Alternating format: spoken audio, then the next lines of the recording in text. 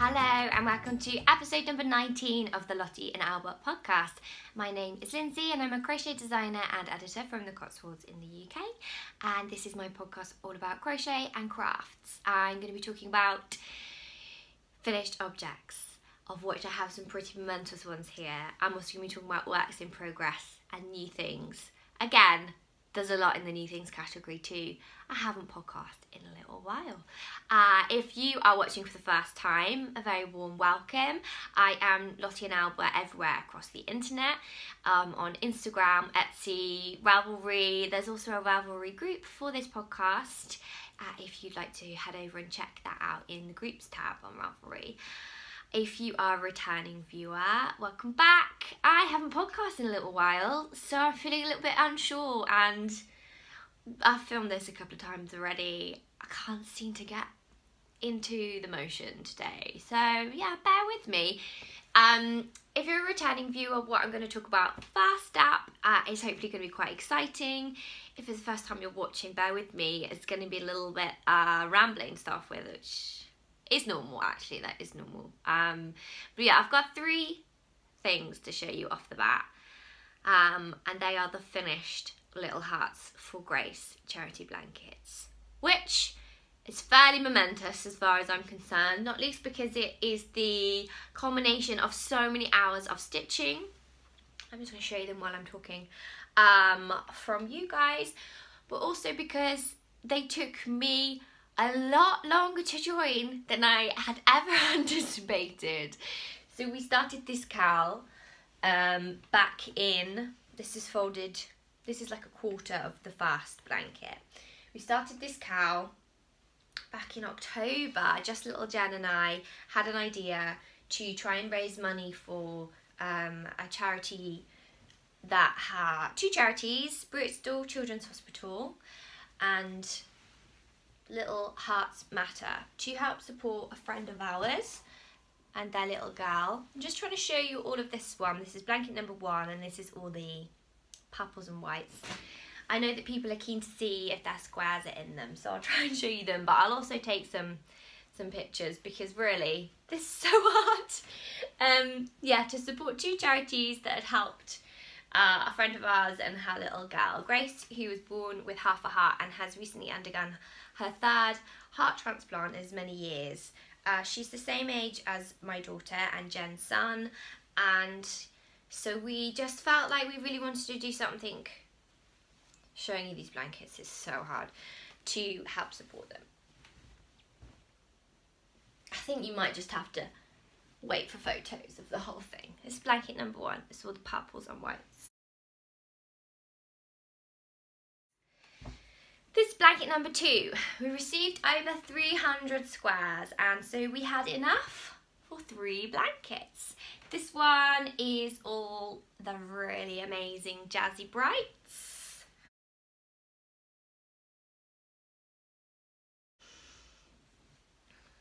Um, see if I can show you some of this one. I've got this one folded in half, slightly easier. Here it is.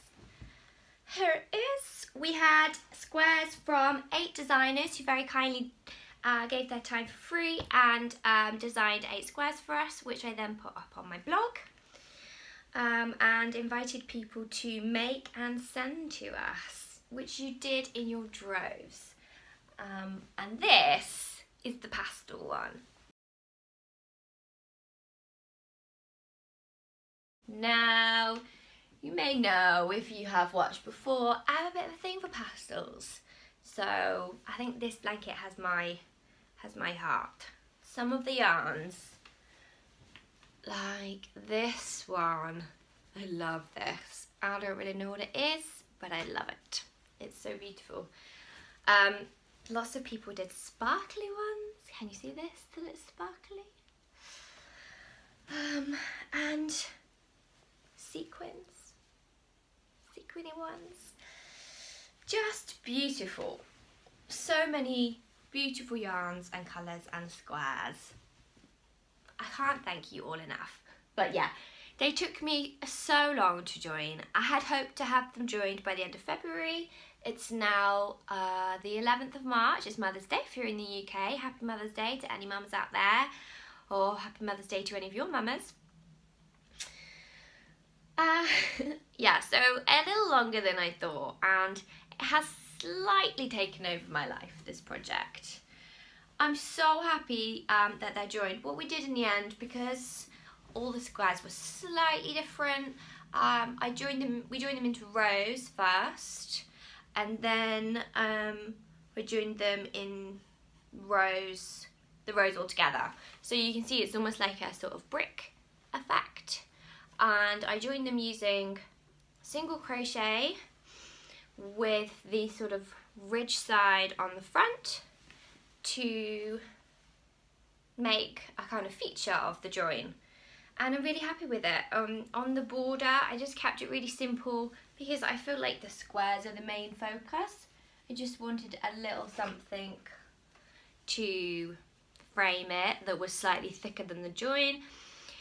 So I did one row of half treble crochets or half double crochets if you're in the US and then I did um, what I call a modified crab stitch. So it's basically a crab stitch with a, a chain one and a miss one in between. So I'm going to try and get some photos later today because I've got my mummy and my husband's mum coming over for lunch and I need at least three people, one to hold each blanket. They're about, each one is about single bed size if you're in the UK. What do you call them in the US? Twi twins? I can't remember what you call them. Anyway, single bed size if you're in the UK. I, I feel a little bit overwhelmed that they're finished um, and that we can move on to the next stage and hopefully raise some money. Um, we've already raised about £250 just through donations that people have made while we've been making the blankets, which is really great. Now that the blankets are finished, we can move on to the next stage, which is raffling them locally. I am a bit gutted that we weren't able to do an online raffle.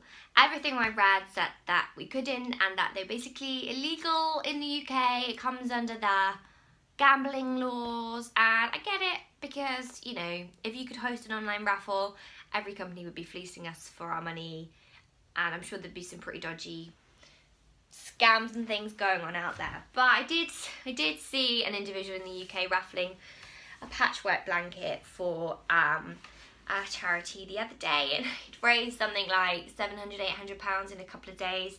I felt really gutted because obviously they're raising money for their own charity and I'm happy that they have done that. But, oh, like, if I wasn't so much of a warrior or like do, oh, I don't know, like if we'd done that, we could have raised so much more money for the charity than we have done so far. But I need to be positive, right? There's still time and I'm really hoping we can raise some more money. Locally, I'm just going to rope in lots of people and friends of friends to sell raffle tickets to all of their friends.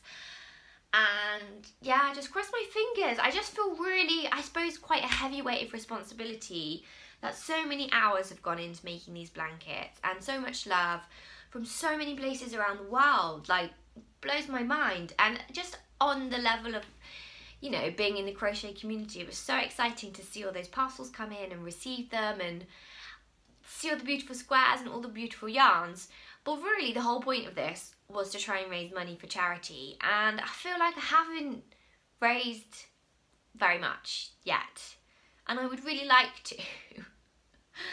And then my husband was being really unhelpful and said, you know, he was saying, could you not have raised more money if you'd done like a 24 hour crochet and just got people to sponsor you? I was like, don't say that because I spent about I don't I don't know how many hours joining these blankets, but I spent a long time joining the blankets and people spent a long time making them.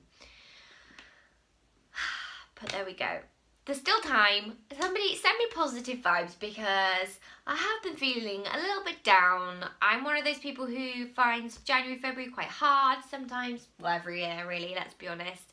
It's so dark and January I was doing really well and then the start of February hit and I just hit a little bit of a wall. I think I've taken on too much trying to do too many things. I'm working almost full time. I have two small children. Always called about on the podcast. Realise this isn't a personal therapy session for me. I'm talking about crafts. But long and short of it is, I've had a little bit of a burnout and I just needed a bit of time to regroup and get some enthusiasm back. And the blankets are now finished, which is a huge achievement that, from all of us. And so that's not to be downplayed. And yeah, just send me good vibes for raising money in the next stage because I feel like I need it. I feel like I need it. Um, I'm going to move on, but I will definitely be taking photographs of those blankets. And also, somebody had the really good idea to um, create a Pinterest board because I was taking pictures of all the parcels as they arrived. Um, and I was trying to work out a way that I could share the pictures um, of all the parcels because I know some of you have been worrying if your squares got here or not. And we just, Jen and I haven't had the capacity to um, contact everybody individually. So um, I thought that would also be a really fun way to see. Some people sent really fun packaging and notes and goodies. So it would be a really nice way for everybody to see um, and I'm really sorry I can't remember who suggested the Pinterest board but it was a really good idea so um, I'll definitely do that. Next up in finished objects, I have um, something to show you, which I have made um, for my little girl. She turned four yesterday and she has been wearing a lot of my cowls. Um, I've got a few mustard uh, cowls that I've made. She likes to put them on and wear them and was asking for one for her. I think she said something along the lines of, uh, Mummy, will you make me uh, a scarf like yours? And I was like, oh, yeah, of course I will. Like, so flattered she'd ask. And she went, but don't take all night, Mummy. Because apparently she knows how long it takes me to finish things. So I've made her this little cowl. Um, I don't know how well you can see. It's in jasmine stitch. So it's supposed to look like little flowers. And I've made it in yellow, obviously, because yellow is her favourite colour. Pink has now entered the mix. She says pink and yellow are her two favourite colours. But yeah, yellow. Um, and I've made it out of a new yarn I was sent, quite helpfully. Oh gosh, it's caught underneath my board. Could be a disaster. Okay, the only trouble is the yarn label's now underneath the board too. I mean, it's not like I get any more professional as I podcast. Okay, I think we're all right. I sent some yarn by um, Hobbycraft. Um, and it is called In the Zone by Knitcraft. This is what it looks like. And when I first got it, I was not really sure what to make of it. How well you can see. I have seen yarns like this before. I think that Katia have some big ones and is it the Bernat like Makeup Big are a bit like this. It's um 100% polyester. It's almost, rather than being a loose fibre or a brush fibre, it's like little tubes. Um, I think it's called chainette or similar. I could really do with like a jazzy zoomy camera. I don't have one. I don't even think that's focusing. Um, yeah, it's like almost like little tubes. I thought they were filled with something to start off with, like a small amount of wadding or not, but I think actually it's just loose fibres. Oh, here we are, look. I'm like deconstructing it as we speak. Loose fibres inside. Can you see? Oh, look. It's fluffing up as I touch it. Um, and then they're surrounded by this like tube of chain chainette polyester. Oh look, how cool is that? But what it means is it's got a really great stitch definition, so it's quite like a cotton, but it's really light and so soft. Very soft. I haven't been paid to say this. this is a genuine opinion of mine. Um, and I just thought it would make a really good toddler make because I mean, she's not like she's got sensitive skin or anything, but some yarns can be quite um, harsh, particularly on the skin. And the softer yarns, the ones that are super soft, tend to be the ones that don't wash very well, like your alpacas or your um, merinos or, you know, like the really delicate fibres. And for a four-year-old who goes to nursery and rolls around in the mud, you don't really want something that you can't wash. So I thought polyester, it's soft, it's got really good stitch definition. That would make a really nice um, cowl. So this is what I've made. It was my first time doing jasmine stitch. It's actually basically a series of puff stitches worked in a certain way. So each row is uh, sort of half, half a flower. And I really like the stitch. I think that I've seen some really beautiful projects online with this stitch and variegated yarn. It can have some quite interesting um, effects. My holes in the middle of my flowers are quite big. I'm not really sure that it's supposed to look like that, but Rosie was really pleased with it. Um, I wrapped it up and gave it to her and she wore it all day yesterday and wouldn't take it off. She also insisted on wearing her hat and her gloves even though um, it wasn't that cold. but yeah, she was really happy with it and I was happy that she was happy. Obviously, that makes sense. I mean, anybody who has a toddler or has met a toddler knows that they can often be quite fickle beings and quite honest in what they think.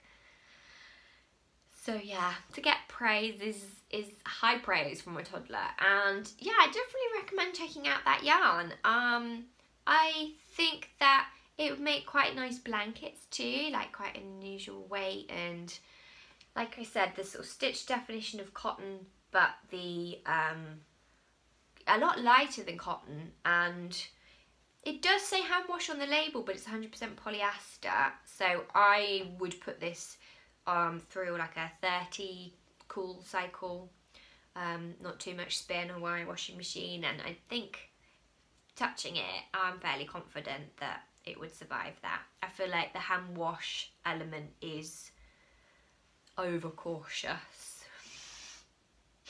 then I'm probably under cautious generally. So yeah, that's a that's another finished object. I also have, it's buried under all the blankets now, um, another finished object to show you, which is this, I remember which way up it is now, um, fluffy number. I um, made this cushion for issue 90 of Mollie Makes magazine. If you haven't watched before, um, I actually work for Mollie Makes magazine here in the UK and yeah, I commissioned myself to make this cushion for a supplement in issue 90 which is uh, our boho botanical supplement and it's all about um, the really sort of natural um, trend that's going on for all things rattan and raffia and we wanted a really sort of textured cushion to tie in with that so um, I've made this in loop stitch in these sections and um, just double crochet for these flat sections and then it's just got a double crochet back. Um, this is actually also a, a Knitcraft yarn. This is Knitcraft um, Leader of the Pac. Um, and yeah, I'm a little bit in love with it. You haven't seen any uh, progress shots for this because it was a commission and so it was um, a secret project. But I can show it you now that the magazine has gone on sale. It's just gone on sale if you would like to make one. Um, it's really a lot simpler than it looks. It's just worked in rows um, with this like simple colour change here and here. And yeah, just loop stitch, a little bit of love loop stitch. What else can I make in loop stitch? Um, for the moment, the pattern's only available through the magazine, but uh, I think in about six months' time, I will be able to release the pattern myself as well.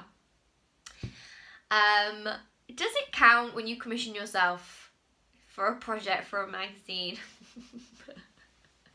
I was actually commissioned by Mollie Makes uh, before I worked there and I was so excited and I'm obviously still excited to have my pattern featured in the magazine but I feel like maybe some of the magic has been lost because I chose myself to make the pattern rather than anybody else choosing me based on my merit.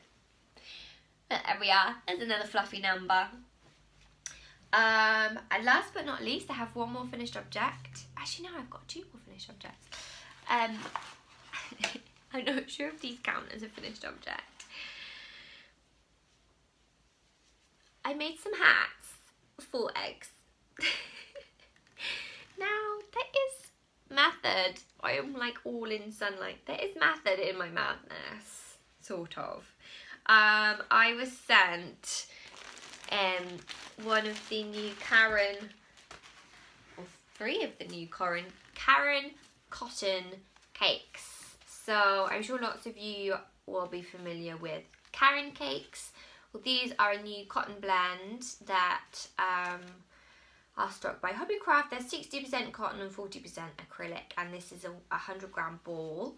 This is the colorway Beach Glass, and they all come with a pattern that you can make. So I think on the inside of the label, here, there's a pattern on this one for a um, crochet granny shawl scarf by look of it.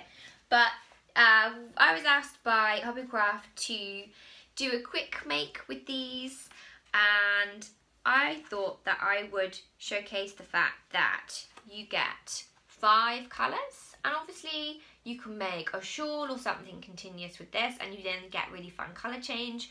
But also what you get when you have a ball of yarn like this is five colours that go really well together you know somebody else has already worked that out for you they to they're tonally really nice. You've got lights and darks and good contrast. So I decided I'd do a project where you split the ball out into the five colours and then make something with them. And I don't know I wanted to do something a bit Eastery and I thought little egg cozies would just be fun.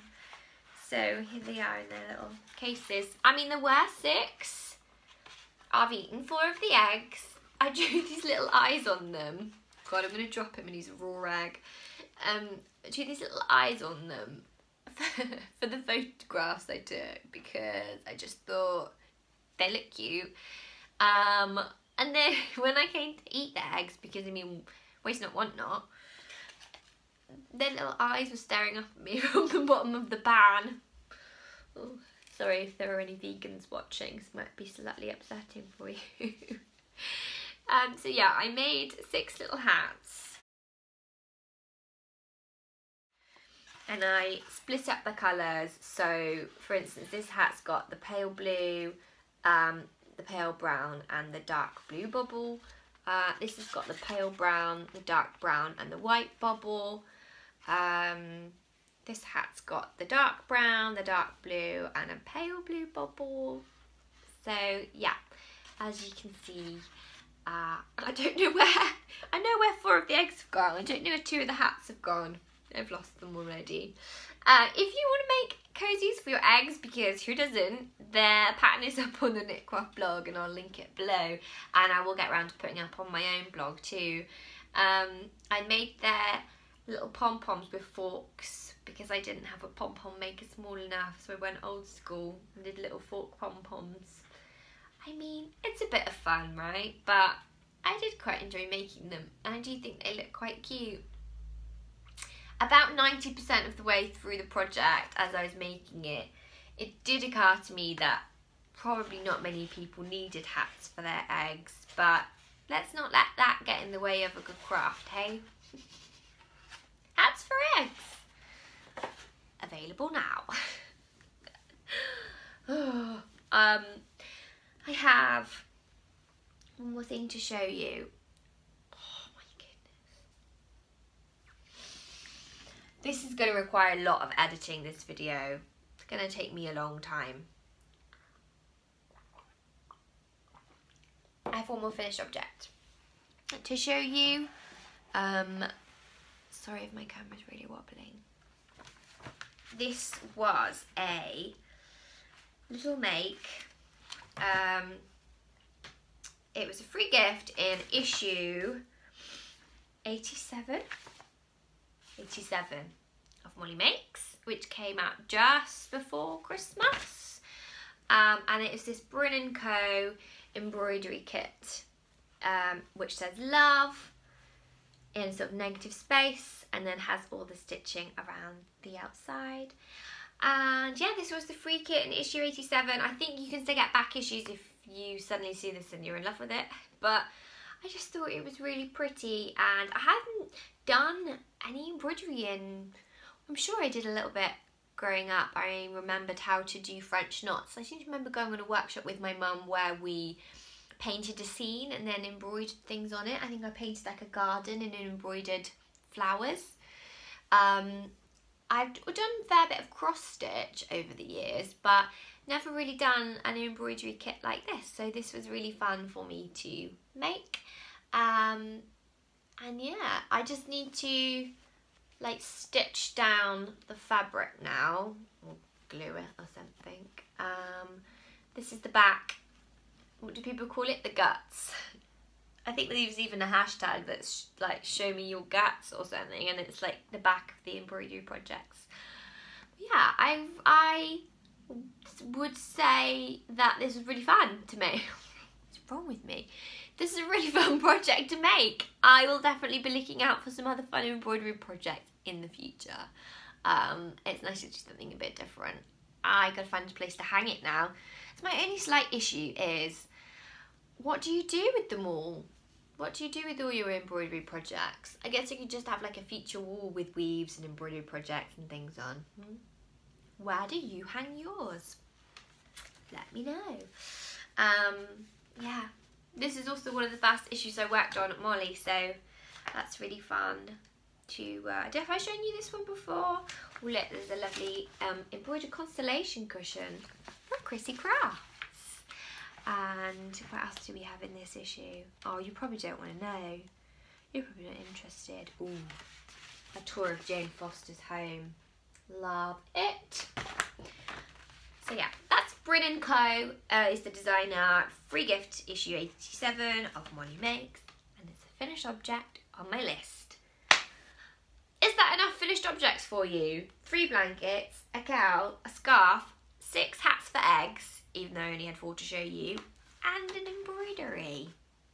I mean, if I hadn't, wasn't for the fact that I haven't actually podcasted in about five weeks, that'd be really impressive, wouldn't it?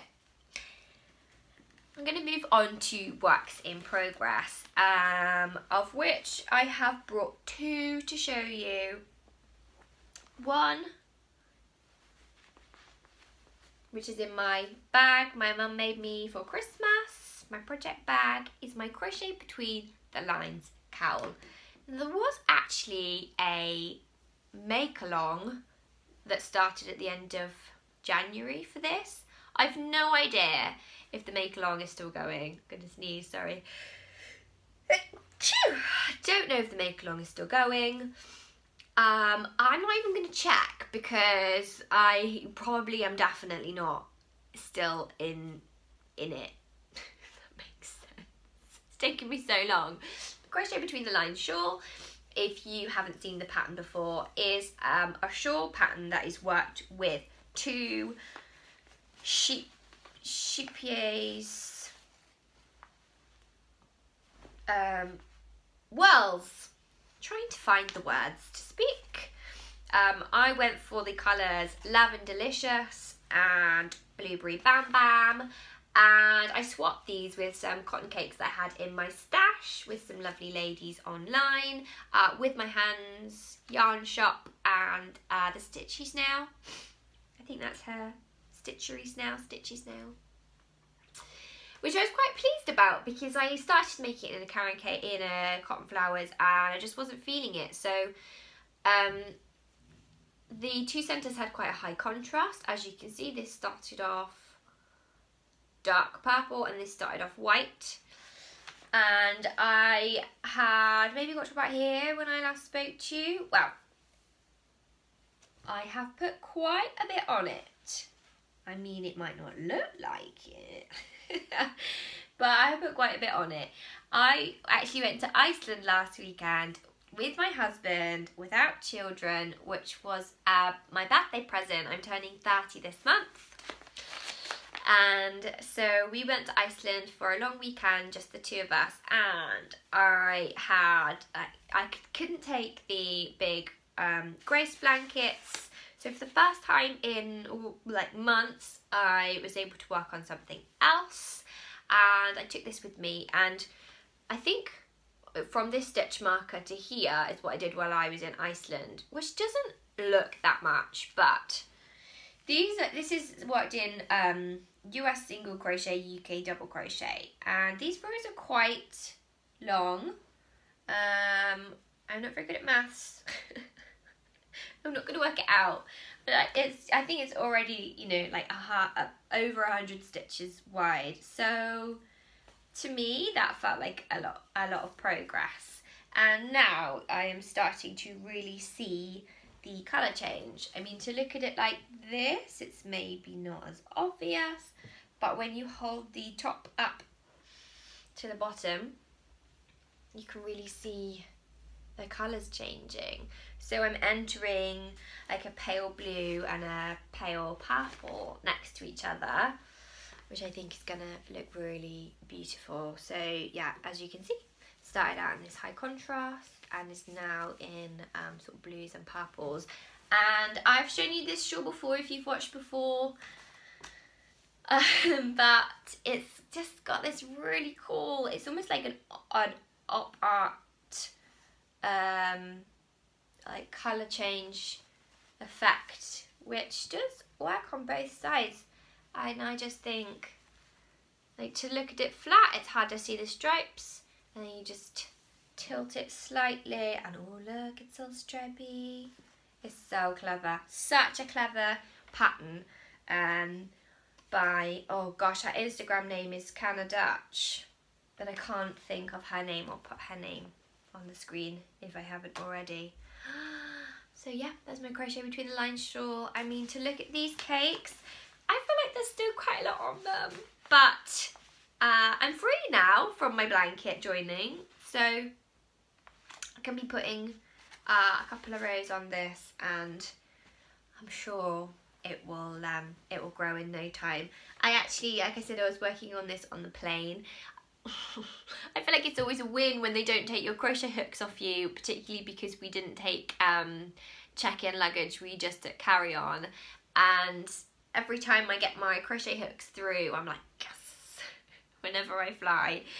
It depends on the airline, I guess. Has anybody ever had crochet hooks taken off them by an airline? Um, I guess knitting needles are visibly sharper. Crochet hooks, I think it'd be hard to do damage with crochet hooks, but if you look online, often they do say you can't take them. So took it on the plane, got my crochet hooks through, and um, two people complimented me on my projects. They said, that knitting you're doing is beautiful. I just said, oh, thank you so much. I don't like to correct people and say, mm, actually, it's crochet. I feel like that's just a bit mean or rude. I'm sure it's, I'm sure somebody, give me a nice way of correcting people. Like, let me know how you correct people if you do. It's such a natural thing, isn't it? People just don't see crochet as much as knitting. Um, but then I'm like, there is only one hook. I'm not. Anyway, anyway. It was very kind of them to compliment me. Uh, the second work in progress that I have to show you is a weave. I know. Um, I have done one weave before. I went to a workshop with my mum, um, gosh, probably 18 months ago um, in Bristol. It was with their lovely Peas and Needles, Lucy of Peas and Needles. And I really enjoyed it. And we were given a little loom, or I bought a little loom from her. And I was like, oh my goodness, it's a new craft. How am I going to have time to do it? I love crochet and weave it and then just never did another weave in 18 months. So I was inspired to do this. One of my colleagues um, had some of these gorgeous, I've got the box really helpfully far away, um, Mrs. Moon Yarns. I want to call it Flump, but that, I think I've just made that name up because they're a bit like flumps. Uh, she had these gorgeous samples of lots of different colours of um, these really gorgeous Mrs. Moon yarns. sat under her desk in a box and she sort of said, oh, I'm never going to do anything with these. Does anybody want them? And because I'm a massive craft hoarder, I said yes. But I was so inspired by these yarns. Um, I immediately wanted to make something. How Fun they are. And I went home and, and started this. So I did the soumak sections first. I'm really sorry about the light. Um, so if you can see, they look almost like little plaits, but they are not. They are just woven. I didn't have any warping thread, so I used this four ply yellow cotton uh, that I had in my stash. But actually, I think it looks quite fun where you can see a little bit of the yellow peeping through. And I kind of knew that I wanted the thicker yarn to be like pops of colour and a feature and then just to have a flat section. So I thought that I would try doing the soumaks first so I could kind of plan my colour placement and then do the white in the background. So this has been really fun. I I started it a fair few weeks ago now um, and it's worked out quite quickly. I um, did have, this is part of the loom, a kind of shuttle, but I was finding it a bit big and ungainly. So what I've actually been using is just this little um, plastic needle, because it's quite a small loom, to weave in and out. And I've just been kind of, it's got such a big eye in it, this needle. I've been kind of doubling or tripling up the thread, just kind of looping it back through so I can carry um, a bit more of the yarn. And this is just a cotton, I think it's the uh, Women's Institute cotton Aran in white. But yeah, I really love how, I mean, I've made mistakes, it's a bit slubby, but I love it. I really love this and I'm really enjoying it. Now that I've finished the blanket. I'm hoping that this will be um, a finished object fairly soon and I'll have to Google how to get it off the loom because I can't remember. uh, so yeah, I obviously have other finished other works in progress, lots of other works in progress, but um, that's my main one. I also really want to make a start now on my um, Sensum sweater by 11 Handmade so that's going to be next up. Uh, last but not least, I have some new things to show you. Now I mentioned that I went to Iceland and so I obviously had to buy some souvenir yarn and Iceland was quite a woolly capital. Obviously it's cold there. Um, their summers don't get much over 10 degrees Celsius and their winters are cool. And let me tell you, the wind chill in Iceland is real. It's very cold there. And so yeah, they've got a long history of um, knitting and knitted jumpers in particular. And it's quite a big part of their um, tourist market now actually there are centres that sell the traditional style I mean, to me, they're very similar to the the sort of Fair Isle um, knitting that you get in Scotland. Um, or that's it's a particular location, Anyway, I'll put some pictures in. So um, I bought some wool, and it is wool. It's very woolly wool. It's not soft. It's like the absolute opposite to this kind of like soft polyester. This is this is like a real man's wool. Um, it's 50 gram balls. I'm trying to see if it actually has a got the wool mark on it. Trying to see if it's got any other fibres in it, but I can't even see. I think that I'm not reading it right. It says use a 4 to 5 millimeter hook. I'd say it's DK maybe slightly thicker. Or it is just pure new wool. Icelandic wool, a sign of quality. Um, I'm not going to try and butcher this. Lopi, lit, lit lopi? I bought these two colours. I nearly bought a white and a black or a white and a dark grey because that's the kind of traditional two colours. I guess because they're the undyed uh, natural colours that you get from wool, white and black, black sheep and white sheep. Um, but I couldn't quite bring myself to to just stick to the white and the black. So I went for white and pink. And um, yeah, I don't know what I'm going to make with it yet. Maybe some mittens, as I feel like this would be okay on my hands. It's not, you know, it's not actually too bad. It's, it's got, I kind of just rub it across my neck. Do you know what I say when I say it, it's harsh, but it's not itchy? You can feel that it's wool, but it's not, it wouldn't irritate. I wouldn't want to go on like a long walk with it rubbing. but it's gorgeous and I couldn't not buy it. So I bought two balls of that and I also bought two balls of um, this other brand. I mean, I can't even, Mosa mm, something. And this is 66% alpaca and 34% Icelandic wool. And this calls for a 4.5 to 5 millimeter needles. I got this really beautiful um, mild you know, white and beige and also white and purple. And I thought they would make a really beautiful hat. And so I started swatching. The night I got back in a little bit of a frenzy. And I was just swatching, swatching, swatching, swatching. I've probably used like half of the balls of wool just swatching to try and find a nice um, mix. I kind of had this idea that I wanted it to look a bit like knitting and so I was trying to to find stitches where I could get the same effect in crochet. I should probably just try and knit a hat. Maybe I'll do that.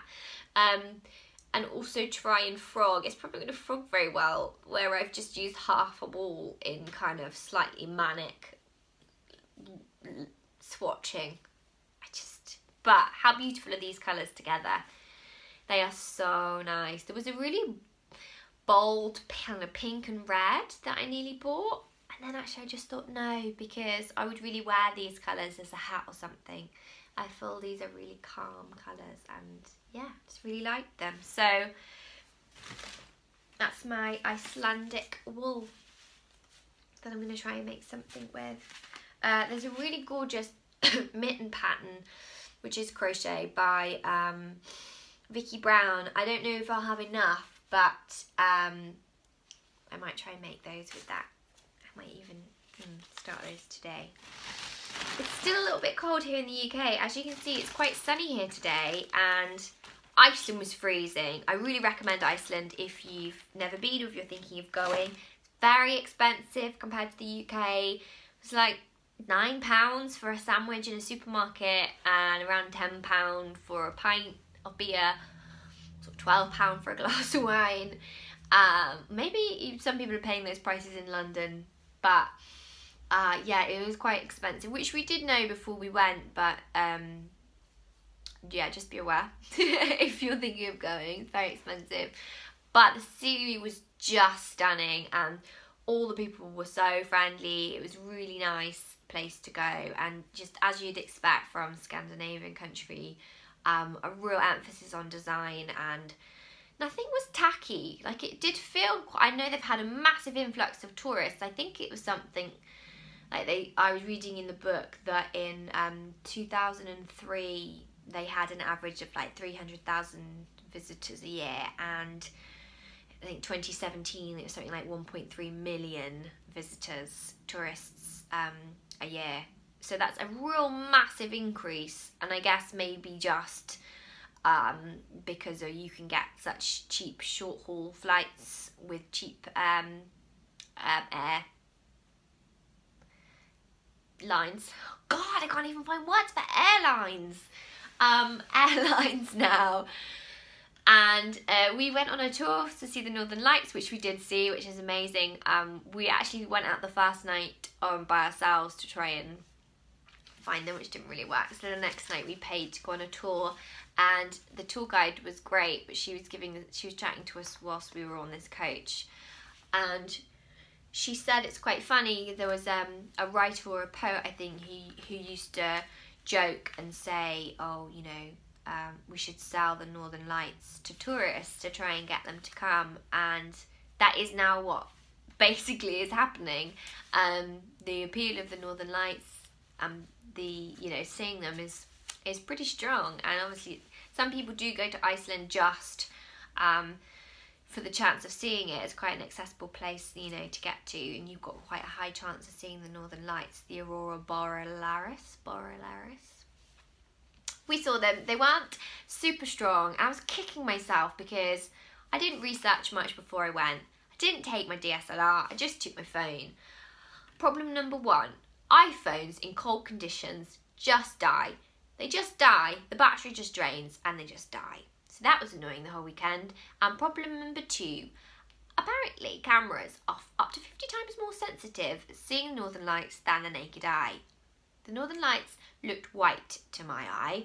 You could see there was a luminescence. I could see the really beautiful, you know, almost curtain effect, but it looked it looked white, maybe a really faint green tinge, but not certainly not like the pictures you see. But I think when we saw them, they were only like a two out of nine on the scale of activity. So perhaps if you're there and you see the nine, you can see the colours and the flashes with the naked eye. But cameras can pick it up really well. So people around us were taking pictures, and the pictures that were coming out were stunning, like big green um, curtains of light. I didn't take my camera because I'm an idiot and because I was like, oh, it's really big and heavy and bulky and we've got carry on and take your camera people and you'll get much better photos. Uh, a couple more new things. I actually left my old job last October but I um, recently caught up with one of my old colleagues who I'm very friendly with and she brought me my leaving present which I hadn't gotten around to um, picking up for anyone or, or being given and it is this gorgeous gorgeous yarn. It's got no band. I don't know where it's from. I think one of our other colleagues got it on Etsy. Do you know, it almost looks like it's hand spun. Because, can you see it's quite thick and thin. There's some really beautiful, I don't think you can see in this light, like blue stellina or something going through it. Some blue sparkle. Um, maybe you can see better in this in the sun. Oh, so now I want the sun. I can't find it. Can you see? Can you see the sparkle? It's really hard. Um, but isn't this stunning? Now I'm looking at it. It's quite similar to my Icelandic yarn I bought. Maybe I could put them together in something. Um, but yeah, it's stunning. It's such a beautiful present. And I also had a hook, which I've misplaced, which is a five mil and I'm pretty sure it's from Pedro's Plaques, but the yarn I don't recognise. So if anybody's looking at this and they think they've bought it or seen it, maybe they can point me in the direction of the Etsy shop it came from and I can give it a shout out. Or, you know, I I don't know, how do I tell if it's hand spun or not? Do you think it is? I feel like it could be. I feel like it could be. It's Anyway, it's beautiful. Whatever it is, it's beautiful. I um, don't know what to make with it yet, but Oh look, it's quite nicely with my top. Last but not least, this is going to be a long podcast. I um, have been sent some yarn by the Fibre Company, which is really exciting uh, because I haven't worked with them or used their yarn before. Um, and they sent me an email about a new colourways um, in their Luma yarn. And I was really intrigued because they didn't tell me the um, different weightings, but they said it was wool, cotton, linen, and silk, which I've never worked with a yarn like that before. And so I said, yes, please. I would love to try some of your wool, cotton, silk, and linen yarn because I was fascinated by what that would be like. Um, now it's arrived, it's more, I'd say it's more like a cotton than it is a wool, if that makes sense feels more like a cotton and maybe like the maybe slightly lighter than a cotton. Um, this is DK weight but you can really feel that there's a silk element to it. It's really interesting. I was kind of imagining something was going to come and be really silky, but just with maybe like that crisper definition of cotton. I'd say it's more of a, like a cotton with a softness. Really beautiful. Um, I actually was watching the Lulu Loves podcast this week and I saw that she had been offered some too. And I was like, oh no, am I just going to be like talking about exactly the same thing? But what I thought was really interesting was she'd gone for completely different colours. She'd gone for sort of um, whites and like moss green. And I um, went for red and red and pink and green. I think these two look really beautiful together. This one's called Flamingo, which I went for just partly because of the name.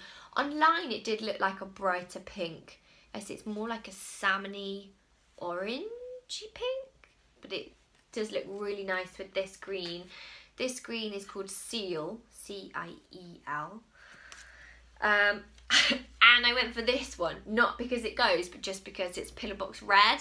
And I have, I saw No Way Crochet, excuse me, made the most beautiful jumper in pillar box red. Um, I think it was WI cotton. Um, and I've just, yeah, I've been slightly obsessed with the colour ever since. So I don't know what I'm going to make with this one ball of pillar box red. But this is the Zinnia colourway. Um, and then I also went for this red, which is the, oh, actually look, I've put both labels on here. One of these is grenadine and one of these is zinnia. I've got a feeling that this is grenadine and this is zinnia. They're both red, but this one is is more of a subtle sort of mix, a bit of a like lighter fleck in it, whereas this one is just bright post box pillar box red. Um, I have got a pattern. I mean, you can see that I've caked this one up. Does this count as starting something? Um, I've got a pattern um, from Novel Snob. Um, that's her Instagram name. I can't remember her actual name. I'm so sorry. For a um, head ear warmer. What's it even called? I've just lost all my words. I'll put a picture of it in here which I thought would be really beautiful in this colour. And yeah, oh, somebody send me some suggestions for what I can make with 50 grams of this bread. Just so beautiful. Maybe that could be another hat. Or I did think that these three could look quite cool together. It's like a kind of ombre. But then also these two just go so nicely together. Mm. Well, maybe. I did see that Lulu uh, Loves is giving one away, Emma. Um, I've lost it at the end, folks. I did see that in the Lulu That Loves podcast, she's put one of hers in for a giveaway, which now makes me feel like I should put one of mine in a giveaway. But I do have a book giveaway coming up next podcast, so possibly, possibly uh, one of these will get included too. Unless I find something I want to make, which is also quite likely. Um, so yeah, that's all my that's all my new stuff. This yarn definitely re recommend checking out. It's the Fibre Company, as I said. Um, yeah, and again, I am like I'm gonna make something with it now straight away because I finished the charity blankets. I always really overestimate how much time I have. Always, I try and fit far too much in. I've already said about three different things I want to make in the course of this podcast we'll see. We'll see if I do actually do any of them. Um, but yeah, that's some new things for now. I've definitely got other things in the post on the way that I'll have to share with you next time. Thank you so much if you've made it to the end of this very waffly, rambly podcast. Goodness knows how long it's going to take me to edit it because there have been a lot of bloopers. There have been a lot of me forgetting words, basic things, things falling down on me, me basically getting like depressed over the blankets, which nobody wants to watch, so I'll take that bit out. Um, but hopefully you've enjoyed something that you have seen. If you want to give me a thumbs up um, or subscribe, for more quality content in the future. Um, or yeah, leave me a comment. Uh, you know I love reading your comments. Um, then that would be much much appreciated. And I will see you all again in two weeks' time uh, for another podcast. Speak soon and have a lovely crafty two weeks. Bye bye. When, when it's snowing, I wanted to have a scarf so I could wrap up really warm. Oh, do you I like want, it? I want Yeah. scarf. Okay, you can have my scarf then. Ah, my camera's up.